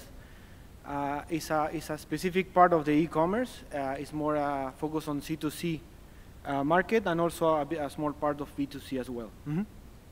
My idea is to, to try to focus uh, on online as a general at the beginning, to talk a little, about, a little bit about our situation, and then uh, deep dive on, on online in, in, the, in, the, in the part of the classified, which is what we really know. And to end, uh, telling a little bit of what we do uh, since we started and, and, and so far and what are the challenges ahead, okay? So here, here is where we stand today. Uh, Chile is an 18 uh, million country. We have an internet penetration of 71.7%. Uh, is according to the Latin American standards pretty e equal situation, and we are the biggest in this case uh, in the in the continent. Mm -hmm. In terms of the e-commerce index, we are uh, number one in Latin American, uh, uh, is 17th in the in the world. Uh, in this case, it's difficult to say uh, a, a number in transactions. So, so what we have done is to try to check what is going on between our, our users, between buyers and sellers, how, how much money they, they, they um, uh, use to buy and sell. And I thought we have a total of 2.9 uh, in 2016. And we are waiting, we are expecting to have uh, more or less uh, 3.3 or 3.5 in this year. Mhm. In case of uh, this, is the industrial, the, the classified industry is, a classi- uh, is an industry of, of volumes. Mhm. In this case, uh, we we have managed to build in these uh, six well six years a, a really really good brand that has grown a lot and now is like number 12 in the in the in the, in the rankings of of the of volume of, of visiting internet and if you go like uh, specifically on the local uh, brands uh, local uh, uh, sites we are number two behind the uh, Banco Estado which is the state bank the, the bank of the state Mhm. This is the situation in the in the economy today. We have a GDP of uh, 1.6 percent and, uh, an employment rate of 6.5 percent. It's a pretty pretty stable in the last uh, three years. A little bit of growth. And in case of the socioeconomic situation, uh, as I said, it's an 18 million uh, uh, population uh, country, and we are growing at a rate of one one percent uh, more or less. Mhm. Uh, our, our business is, is focused in four main categories, or, or four group of categories. One is cars, the second one is real estate, uh, third one is um, jobs, and the last one is consumer goods. Mhm. So in this, in this uh, graph, I will try to show you how is the situation in relationship with cars and real estate. So that's why we have these uh, figures that 62% own a, own a home, 13% own an additional home, and 50% owns a vehicle. mhm. In terms of income, the distribution is, is like this. Uh, 50% uh, is, a, is a huge group, it's ha- half of the population, is under the 1.2 thousand uh, dollars of income, and then we have these two different groups. In terms of debt, the, the, the majority of the debt are in, in, in the consume sector, uh, behind the, the, the mortgage and also cars. Mhm. If we go to the, uh, to the online part, uh, penetration as well as all Latin American is, is heavy in terms of mobile. Uh, the smartphone usage is 94% out of, out of six, that, which is in, in, in desktop. Uh, it's massive and, and it's really well aligned with our situation today that we, I will talk to you like further. Mhm. So let me talk a bit, a bit of, of Yapo and, and our business. Mhm. We, uh, we are part of a Norwegian uh, company that does that has been doing this kind of job since the 90s. It's present in, in 30 countries with a total of 200 uh, million users in the world. Mhm. In case of Latin America, we are present in five different countries. Uh, uh, in Mexico, we have a brand called Segunda Mano, which is pretty similar to what we do in Chile. Colombia, we have a vertical that is specialized in, in real estate and also a classified side. In Brazil, we have InfoJobs, which is a vertical specifically for jobs, uh, and OLX, which is similar to us, it's a, it's a, it's a classified site. And we have just launched in the Dominican Republic uh, uh, uh, a site that is also for classified. And in Chile, the, the, the brand that uh, I lead uh, is, is Yapo. Mhm. In case of Yapo, I think to explain a little bit better what we do, I, I bring like two videos. The first is is the TV ad that we ran when we started, like in 2012, 2013, and uh, it's in Spanish. But I think when when you see when uh, seeing it, you will realize what uh, what we do. Okay.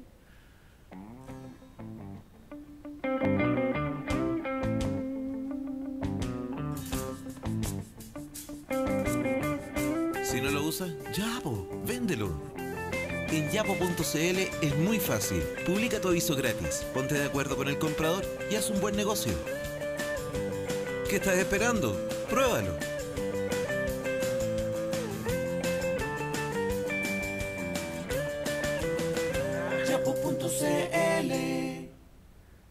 So this one, one was one of the first TV TV ads that we ran, and, and the next one is the is the the, the ultimate that we launched in, in March. Uh, the the aim of this campaign was to talk about the eternal promise, the thing that we always buy, uh, knowing, uh, saying that we will use every day, but at the end is is, uh, kept in the in the warehouse. Mhm. Esta, mira, con esta siempre tendría el pasto cortito.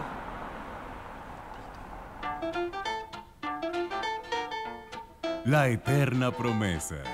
Todo eso que no usas, véndelo en yapo.cl. Sacas una foto, publicas, vendes. Descarga gratis la aplicación y empieza a vender ahora mismo. So that's the idea. It's, it's pretty, pretty simple. We have two kind of users, the buyers and sellers. In case of the buyers, you go to the site, specifically nowadays in, the, in the, our apps, browse for a product in the, between uh, all of our 12 categories. Uh, you, you find the product that you want, you contact the seller, then you coordinate the meeting, that which is offline. Uh, they, normally the people do it in, in the metro station or bus stops, and they close the deal. In case of the seller, uh, it's, it's, it's, the, it's the other way around. They, you select your product, you take your picture, you post your ad easily, you wait for replies, and then you have a good deal. Mhm. the important stuff in our case, we divided the, the, the users into different kind of user. Mhm. The private user, which is the high volume that we have today, is the user that, uh, like me or, or you, that wanted to, to sell a, a couch, a TV, a car, real estate, and you go to the site, it's a, it's a free service where you can post your ad and wait for replies to sell that. They, normally, these kind of users uh, go through the, through the mobile site, and, and, and the other part is the professional, where the, uh, where, which in that sense uh, is a different kind of user. It's a user that manage a huge amount of, of ads uh, and, and they request a, a, a value-added services. In that sense, the, this kind of user browse the site through desktop mainly. They are concentrated in the cars, jobs, and real estate uh, categories, um, and also invest in the site to have this value, these value-added services that we, uh, I will talk about in the in the business model part. This is uh, well, this is the, our numbers. Uh, as I said, it's a super massive site in in, in Chile. Uh, so the the um, our database and, and our uh, the behaviors of the user in our site is pretty like uh, in line with the with the behavior of the Chilean internet users. Mhm.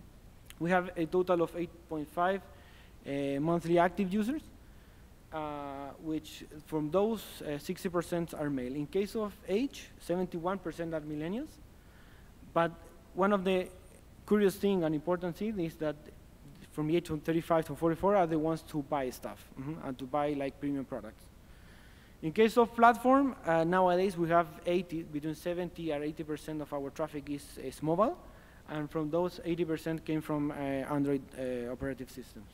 And the category important, like uh, curious also stuff, is, is we have realized that the categories uh, is super related with the gender.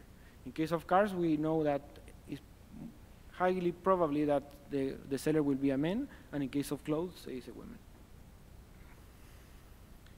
Uh, this is uh, also something curious that has happened in this, this uh, six, well, seven, seven years. Uh, when we started, our traffic was 100% desktop, and this has changed rapidly. And now we are considering like 77%, and we have all days that in the weekends that we have 90% of the traffic of mobile devices. Mhm. So this is the, uh, the history that tried to sum up. We when we started like in 2011 we were only four uh, and with the aim to build a brand that the all chileans like recognize and think about it when they wanted to sell something over the internet. Mhm. and our first milestone in the in the in the in 2012 was to reach 2 million users uh, then we started to grow and we started to realize that uh, this effect was was true. Uh, and and we have seen that between buyers and sellers we have we have seen that at the beginning they were trading 178 million dollars. In 2013 we reached the million active ads. Uh, and then uh, in terms of uh, visit the aim was to reach this 40 million and in 2015 we already had 30 million and in terms of active users, we are uh, we are now at 8.5 million users. And, and just uh, for the end, uh, this is the big question that everyone asks because when, when you see the software, it's, it's free to buy and sell, and no one understands how we make money. hmm?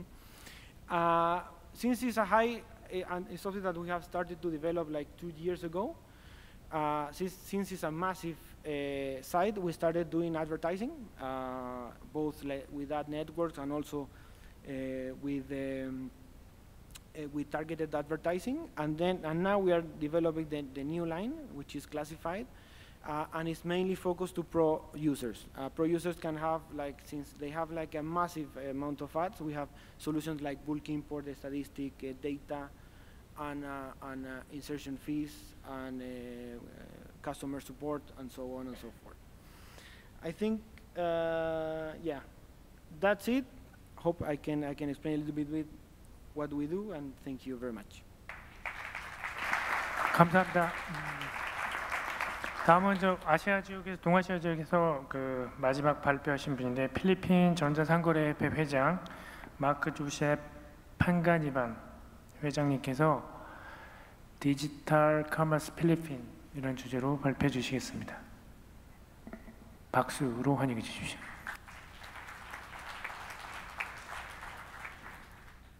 Uh, good day, everyone, and uh, thank you for having the Digital Commerce Association of the Philippines being part of this uh, FEALAC uh, Business Forum.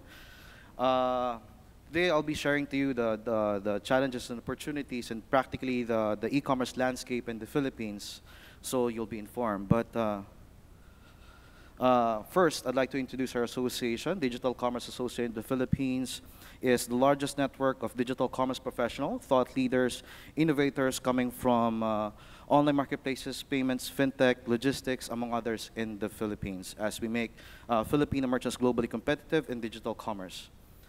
Uh, we represent uh, we represent the Philippine uh, digital commerce industry and make it a norm uh, with the international standards as we continue to promote and advocate digital commerce in the country. Philippines, uh, without even knowing it, even as uh, in the late 90s, has been uh, immersed with e-commerce. So from, from dealing with C2C, B2C, B2C, B2B to B2C, up to direct retailing of brand.com, uh, you know, it's, it's an interesting ecosystem to actually uh, look into. And to, to show you a little further of the snapshots of the Philippines economy in terms of e-commerce, uh, these are the top five activities that Filipinos do whenever they go online. So predominantly, uh, we are very socially uh, connected as we are very embraced, uh, uh embraced uh, Facebook that much along with the other social networking sites. But uh, comes really close second is online shopping. That's considering coming from a, one, a, little over 100 million Filipinos.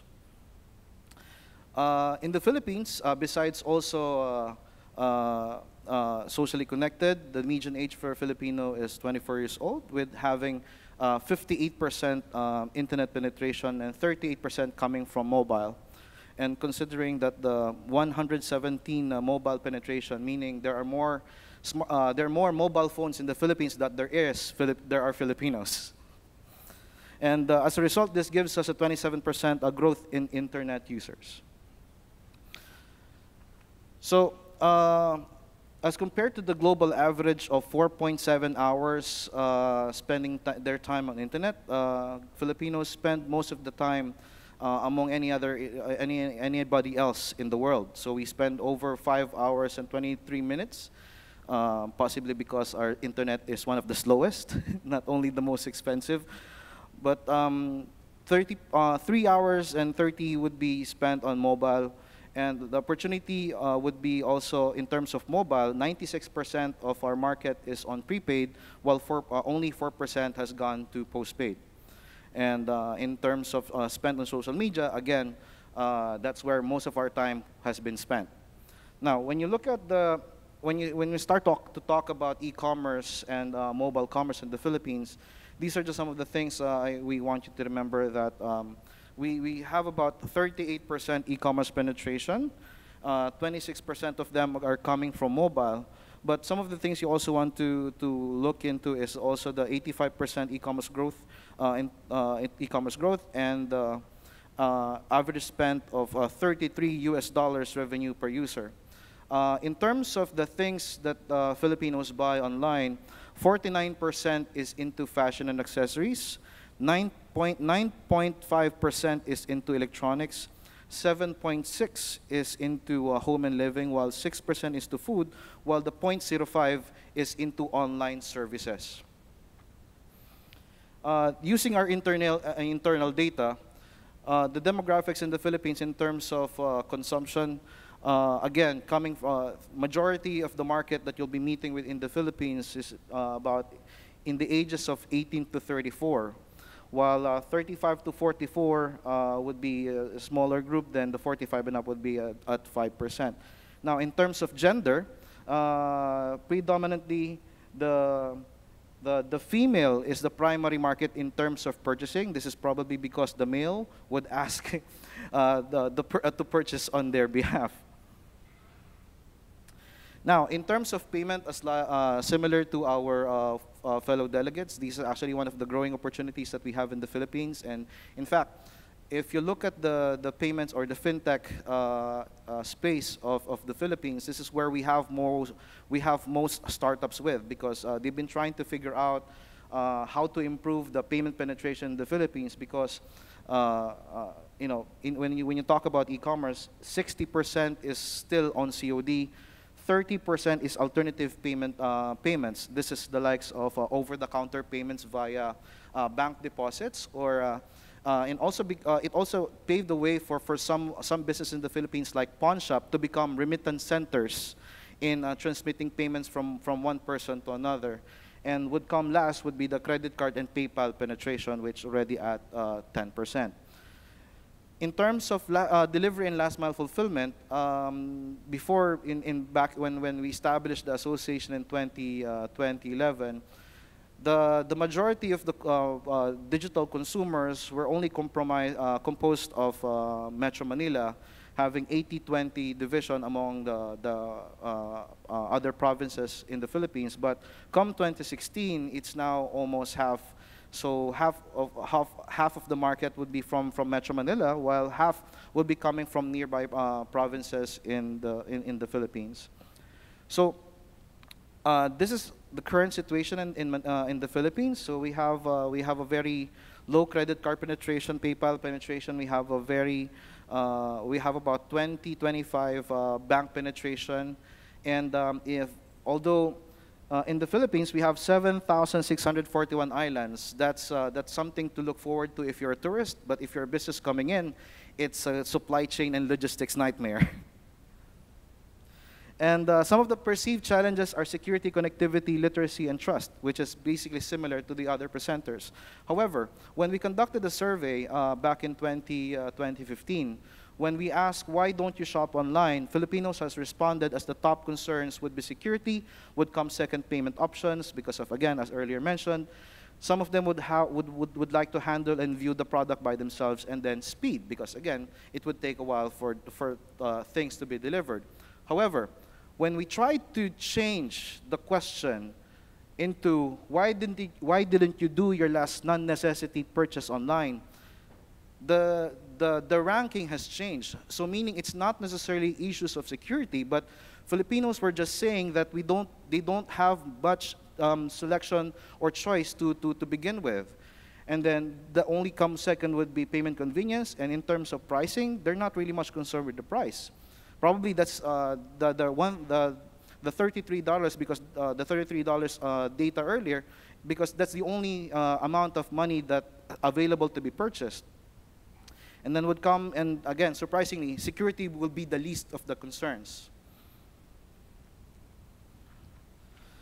Now, uh, as a result, this gives the Philippine government to actually act, uh, act upon uh, these kind of things. So in the Philippines, we launched last year the, the Philippine e-commerce roadmap, wherein it, it, it, it the, the, the, target is to work with the government in, uh, in, uh, in, in, in, resolving many other uh, pain points of, or rather blockage in the e-commerce growth in the Philippines. So uh, this is actually the, the, kind of things that deals about innovation, intellectual uh, capital, uh, infrastructure, and uh, integration. So in terms of challenges, these are the kind of things we still have yet to overcome. We have, again, uh, I guess, uh, one of the slowest and expensive internet access and only having two major telcos operate in the country. Uh, so that gives uh, very least competition in terms of the telecommunications industry. Uh, again, we also have a very minimal take-up on e-payment service. We, we have issues with uh, security and privacy, but again, uh, in, in terms of the payment service, this is the, where the growth of in, uh, fintech in the country is coming in.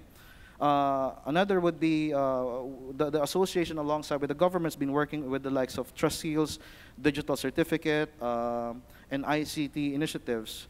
And um, uh, again, the, one of the challenges would be uh, uh, the fragmented uh, geographical um, geography, rather. So in terms of opportunities, again, uh, the, the, the, the, Philippine, the, the Philippine economy is uh, relatively, uh, in terms of the market, it, have, we have a very young population. Uh, we are socially connected. We have uh, mobile as the e-commerce driver, which is basically, uh, when, you, when you talk about the, the, this particular potential, the, the mobile, the ones is giving the, tends to take off the, the B2C market.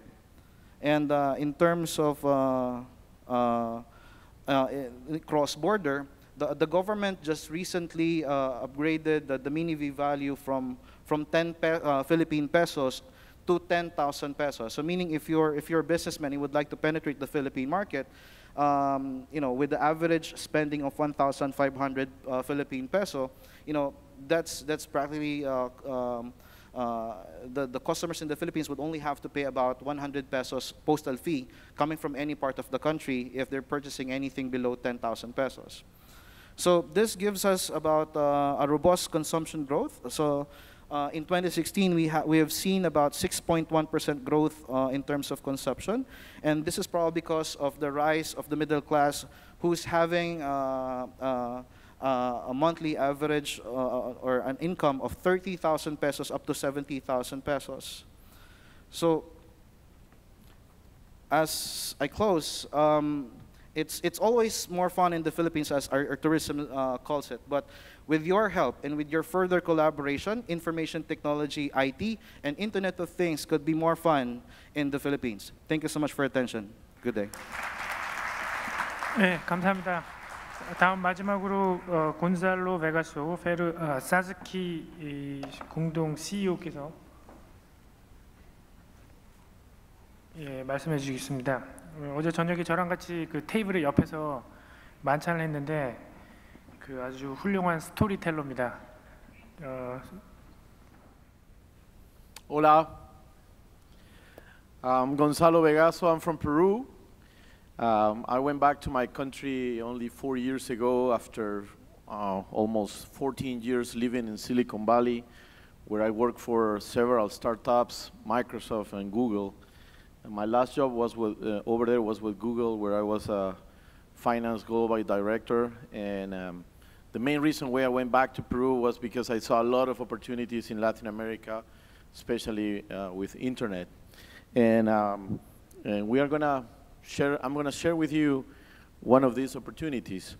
My role in Peru, uh, I'm basically a venture builder. In the last four, to five years, we developed uh, five different businesses. Uh, but this one is the one that I really like and I'm, i decided to manage. You know, normally a venture builder will analyze a problem, will put together a solution, uh, a team, you know, will try to get a, a good entrepreneur to to lead the team.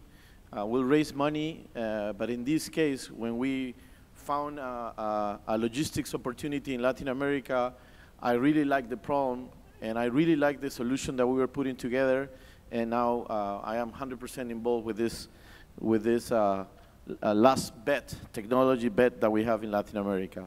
So let me uh, just tell you a, a little bit about what we have seen.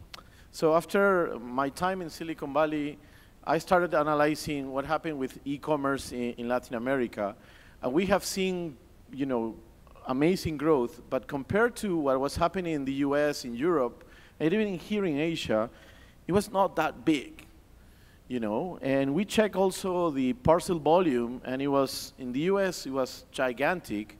And I remember, you know, this is a picture of my porch in the in the building where I live, a lot of boxes But we don't have this in Latin America. So we start thinking, what's going on? Why, why, why we're not having these type of situations in Latin America? And we uh, ended up analyzing, you know, Colombia, Chile, Peru, Argentina. Didn't go to Mexico, but we found a lot of different situations. Uh, main thing that we got that, that was not helping uh, e-commerce to grow was credit card penetration. A lot of our colleagues here already discussed that. But we said, should we solve that? No, that's a very difficult problem. There are a lot of people trying to solve it. Let's analyze other problems that we might have in e-commerce. And we ended up checking the logistics, the platforms, you know, how you ship and send the goods that you are buying or that you, the goods that you're selling. And we uh, realized that that was a big problem.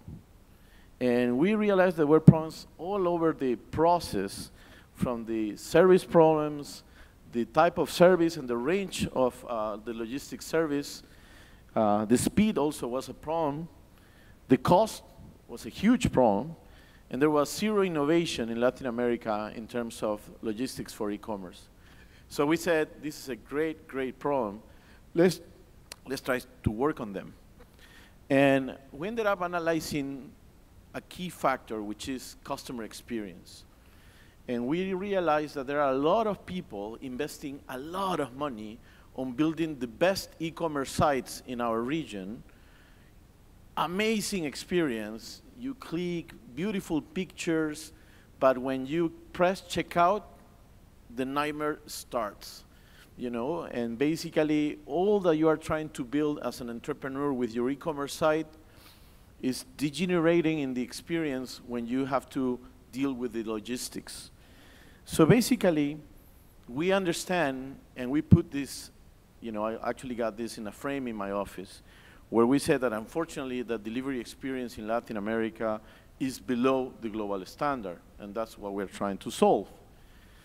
So, couple of elements. The first thing is that in Latin America, when you buy something, you have to wait, on average, five days to actually get it.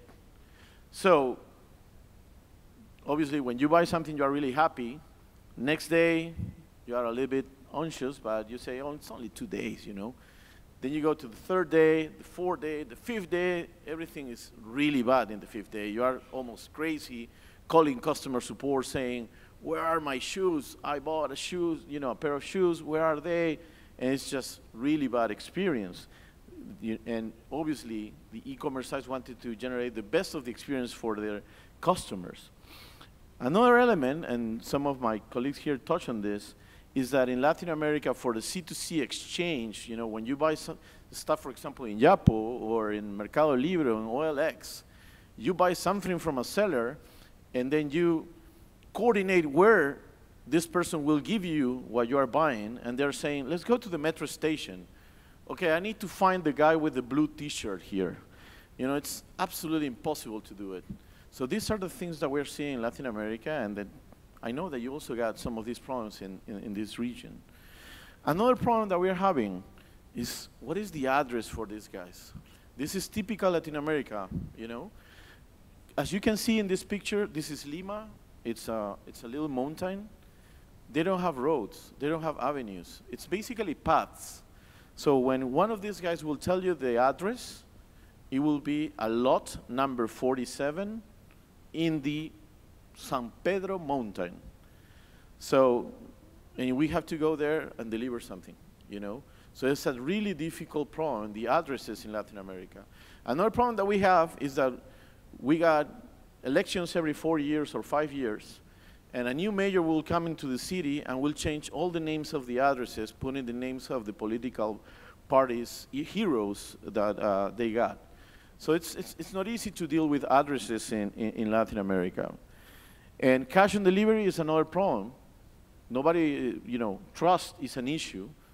Uh, we have seen 50%, 60% of the trade is based on cash on delivery.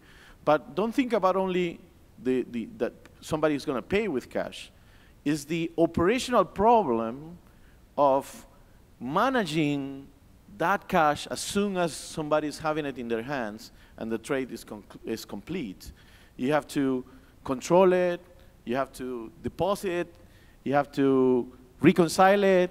It's, there's a lot of operational problems around, and obviously you are carrying cash, and somebody can also rob you in Latin America because unfortunately we got a lot of security issues. So it's a huge, huge problem. Well, when you got problems, you got opportunities, you know, and we said, wow, this is great, and that's precisely why I decided to, to co-found this, this company. And what we have created is Chazki. Chasqui in the Inca's culture was the guy that actually ran shipping things for the Inca. So what we're trying to do is to be the leading platform for delivery of packages in Latin America, specialized on e-commerce and retail.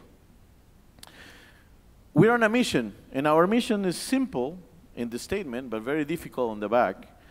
Uh, we basically deliver the shipments of the best operators of e-commerce and retail in Latin America to the homes or offices of their customers. And this is our business model. You know, we partner with the best e-commerce and retail companies in Peru and Argentina where we operate. We develop technology, you know, basically a 100% proprietary technology platform where we got algorithms to generate the fastest and more efficient uh, routes in the cities, uh, apps to manage our fleet and the drivers, apps to manage you know, the business in general, and provide information to the customers so they will know what's going on on a daily basis with their packages. We operate a fast shipping vehicle fleet under the Uber concept. So basically, we invite people to come and uh, affiliate to, to our system. They come with their vehicle and their phone. And we check backgrounds of all these guys just to generate trust and be able to, to work with the best people. We provide same-day delivery services. We provide scale delivery services. So basically, you can tell me, hey, go to my home and be there at 3.15, and we will be there to deliver you something. And we also do express delivery in less than two hours in four cities right now, in Lima, in Arequipa, in Trujillo, all of those three cities in Peru, and now in, in Buenos Aires in Argentina. We collect a fee for every box that we ship. We obviously do cash on delivery with next day deposit because it's the money of our clients, so we have to deliver deposit next day. And what we provide is on-demand services, last mile, we vary the cost of the delivery, which is definitely uh, impacting the traditional logistics model where it's not on demand. In essence, what we offer our customers is peace of mind. All of us will know where the package is. We got technology so we can show you in the map how it is moving, going to your home. And it's very important to show who the driver is in Latin America because you will open your home door to this person we got a lot of security issues. We need to know who's the guy that will actually knock our door so we can open and get our boxes. We provide the cell phone of this person. This person is trained to get the best user experience that, you can, that he can give to the customer using keywords like sir, thank you, good morning, things like that. And, and basically, we're providing this view to the customers of our customers so the anxiety of buying online and not knowing where your package is got solved completely.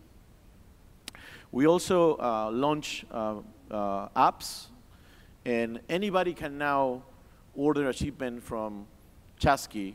For example, people, this is mainly for B2C, so if you forgot your wallet and you're at the office, you know, you don't want to go and there's a lot of traffic, you don't want to take your car, just get a service from, from Chazki, and, you know, a Chazki one person will go, grab your wallet, and leave it, give it to you in your office. And, and, and that's a very convenient service that we're doing in, in, in, in no time. Remember this picture?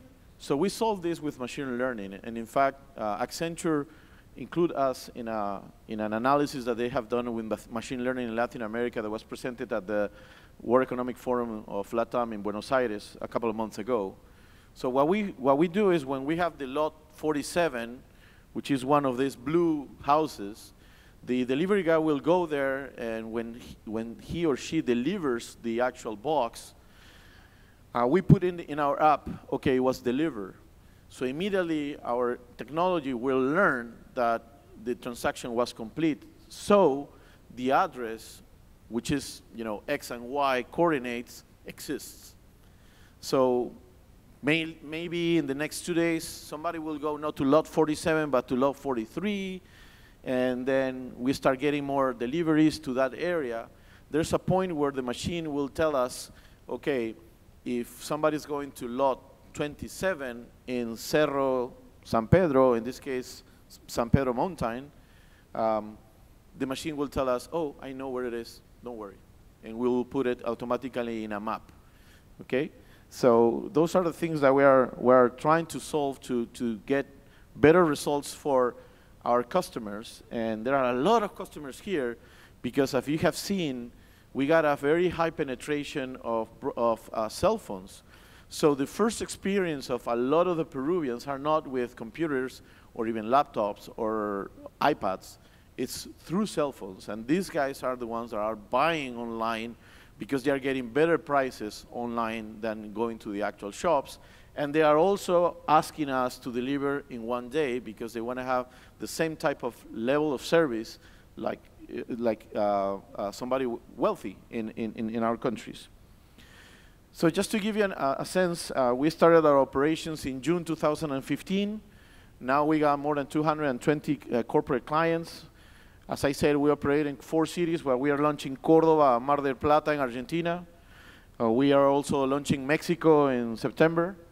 Uh, we deliver more than 350,000 packages, uh, more than almost 40,000 routes, and travel more than almost 700,000 kilometers without having any motorcycles or, or cars. And uh, yesterday was uh, our Vice President uh, Mrs. Aráoz was, Ms. Aráoz was here, and I was very happy to, I'm very happy to share with you that uh, through Startup Peru, we won uh, a grant and we received $150,000. That's the type of, uh, of encouragement that we are receiving from our government to keep moving. I mean, it's not easy. You have to apply. We have to apply and, and, and, and basically uh, compete with 26 other startups in Peru that generated more than a half a million in revenue, and uh, only three got this award. So very happy to share that with you and, uh, and to thank the Peruvian government uh, officials that are here for uh, this support. And thank you very much. Uh, happy to, to talk to you later. If you want to know more about e-commerce, uh, we have knowledge about Peru, Argentina, Mexico, and some other countries. And uh, I'm really looking to looking forward to talk to you, especially because uh, it's in our plan in 2018 to to enter one of the Asian markets. I got some experience doing that because uh, I helped some of my friends, uh, the Añaños family, Peruvian family that uh, the owner of Big Cola, um, to enter some of the Asian markets. And I love Asia, and I, I think that we are very similar in our problems, very similar in the solutions that we are trying to, to build. And uh, at the end, it's, it's, it's, gonna, it's, it's not easy to actually inter internationalize a Latin American company in, in, in, in Asia, but uh, we're going to try it next year. Thank you very much.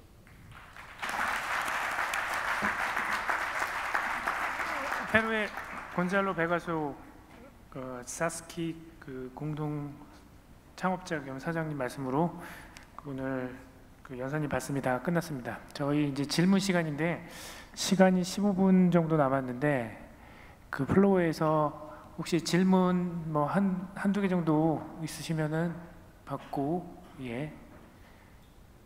어, 질문이 생각보다 많은데요. 제, 제 저기 딱 가장 먼저 손든 분이 제 앞에 예 안경 쓰신 분 예. 자기 소속하고 밝혀주시고 그 다음에 질문해 주십시오. 네. 아, 네 안녕하세요. 어, 발표 너무 잘 들었고요. 저는 박세빈이라고 하고요. 그, 그 스페, 스페인어 기반의 한국어 교육 컨텐츠를 개발하는 스타트업을 지금 하고 있습니다. 그 한류 팬이 한 천만 명 정도 되는 걸로 지금 알고 있기 때문에 비전이 있다고 보, 보고 있는데요.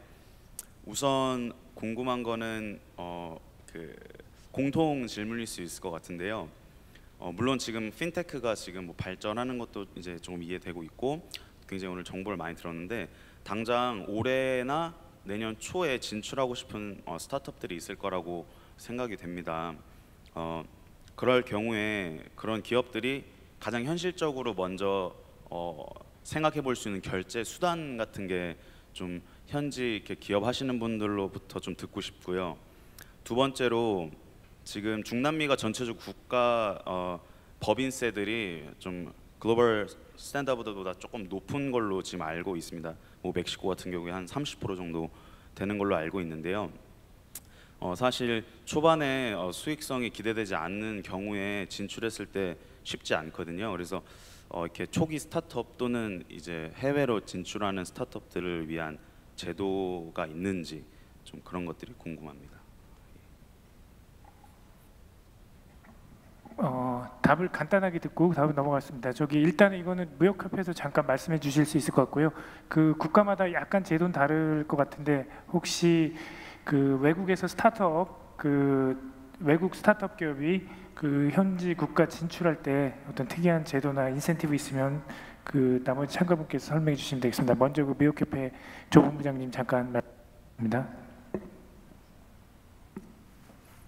네, 어, 질문 감사합니다. 그 스타트업에 대한 부분은 어, 별도로 이렇게 좀 어, 상담을 해야 될 것 같다는 생각이 들고요. 지금 질문이 그 중남미 지역의 어, 결제 시스템에 대한 질문을 해주셨습니다. 그래서 그건 아마 그 부분은 어, 다른 패널들이 이렇게 답을 해주시는 게 더 적절할 것 같다는 생각이 들고요. 다만 저희가 이제 K몰 24를 운영하면서 그 결제 시스템 부분도 관련이 되기 때문에 그 부분에 대해서 지금 그 스타트업이라 하니까 그 부분에 대해서 저희 경험을 공유했으면 합니다.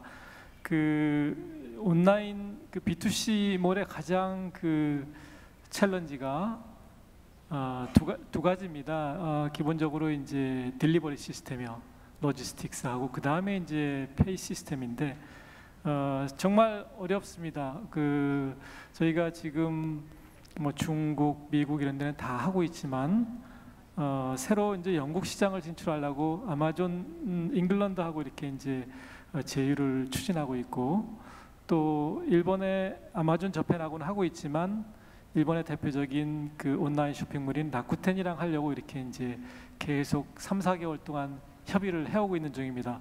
그런데 그 두 개 다 굉장히 그 금융 시스템이 잘 발달된 선진국인데도 불구하고 온라인 쇼핑에 대한 그 결제 시스템이 그렇게 쉽지 않습니다. 아직도 해결이 안 돼서 어 계속 진행 중에 있습니다. 그런 거에 비추어 볼 때 중남미 아마 다른 패널들이 답변을 해주시겠지만 어떨지 모르겠다는 생각이 듭니다. 이상 도움이 됐으면 고맙겠습니다. 예, 혹시 Yes, re regarding payments, what I would tell you is if it's mobile, it will be great. But basically, the majority of people, at least in Mexico, that are coming into the digital economy are doing it through mobile platforms. So I think the future of electronic payments is it's mobile. Regarding corporate tax, I wouldn't worry that much about it. To be honest, I'm an investor in startups and they don't have profit. So that's a problem you will have later on. And my only advice is that from the beginning, you should look very carefully at unit economics. Basically, you do want to have a profitable business in the operating margin. If you do that, believe me, you're going to be okay. 예, 감사합니다. 그리고 혹시 개별적으로 또 질문이 있을지 모르겠는데 저희가 이 세션 끝나고 바로 오찬하니까 그때 시간을 내서 자유롭게 그 개별적으로 질문해 주시면 좋겠고 마지막으로 우리 그 저기 그로바스 씨 다음부터 우리 왕 사장님부터 해가지고 마지막으로 한 말씀씩 듣고 그 종료하도록 하겠습니다. 예, 왕, 왕 회장님 먼저 말씀해 주시죠.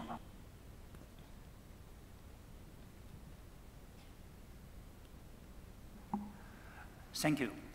Well, uh, we are looking forward to the cross-border e-commerce will be a great bridge to link the uh, people in the region and further the, uh, the development of our economy and better serve our customers. Thank you.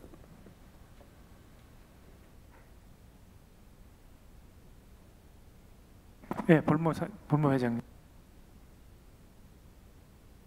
About this question, I really I think I think what has already been said is probably I, I don't have much to to add, uh, especially in the case of Venezuela. You know, the, the question is mainly for for uh, South Americans. So uh, if you would like to uh, to invest to or focus on Vietnamese market, uh, let me know so, so we can uh, talk about it later. Thank you. in the in the case of uh, of Chile, uh, payment also is, is growing a lot. In case of mobile, it's not like uh, the majority right now, but it's growing. Uh, in terms of provider, there is uh, the biggest one, which is called Transbank. Uh, they have a, like a solution that's called WebPay. It's not really really well advanced. Have some some issues, but it's the only one, and the, all the companies is using. And the big, biggest problem is the, is the, the as, as all of my colleagues said, is, is the, the credit card penetration, which is super, super low. So you cannot play a bit with that to retain money, then, then, then to work with that. So uh, the major payments are with debit cards. Okay, for, for the concern on, on the payments and uh, first for, for the concern of the payments, um, if you want to come to the Philippines, I wouldn't be more concerned with the payments uh, if that's one of your pain points coming in because uh, there are like, you know, countless of fintechs have already uh, came in to, to the Philippines and what, what we need to be more concerned about, uh, about uh, would be Filipinos, uh, especially our government has yet to embrace, you know, e-governance and e-payments towards the government services. For example, getting business permits, um, filing for certain, uh, getting your passports and visas. These are still all cash basis. And until the government, our government has embraced uh, alternative payments like electronic payments, mobile payments, then by nature, the Filipinos would be you know, more than capable in paying online and there'll be more uh, access for electronic payments. Now, as uh, on the second question, uh, on, on, in terms of final thoughts, um, you know, if you're a business and would like to penetrate the Philippine, uh, the Philippine market, do not be afraid because Filipinos are actually willing to, to shop or buy something, uh, but they are limited with options. So, you know, if, if given a chance, uh, Filipinos are more than willing to, to buy products, whether physical or virtual. We are more than willing to actually consume. We just want to have, uh, you know, first-hand experience of such and, you know, see that it is available for us to access, whether locally, if you set up a business in the Philippines, or cross-border, uh, considering that we already increased the, the mini-V value uh, in, in, in terms of customs. Um, I'm, I'm just going to give you some ideas in terms of the, your question about taxes. Um, I completely agree with Eric that you should not think about it when you're building your startup. I'm also an angel investor, and uh, it's, it's, it's not that important at the, at the early stage. But uh, it is important to know that uh, in Latin America there are uh, a lot of governments that are working towards the promotion of, of entrepreneurship.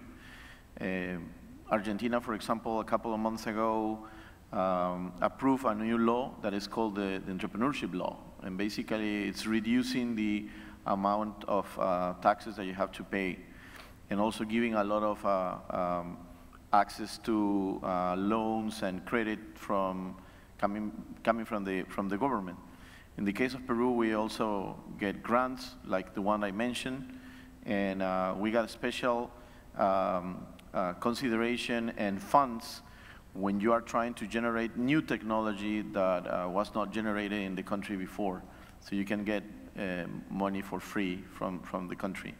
Um, uh, I know that uh, in, in the case of Brazil also, they got some uh, tax-free incentives when you create startups, not in the cities, uh, in the main cities, you know, in Rio or Sao Paulo, in other cities, you also got some tax incentives. So it's, it's just a matter of trying to find uh, the, the right incentives, but it's more important to get the right strategy actually to, to build the, the startup quickly. That's it. Thank you. 예, 감사합니다. 질문이 많은 것 같은데 바로 이어지는 네트워킹 5차 때 하시고요.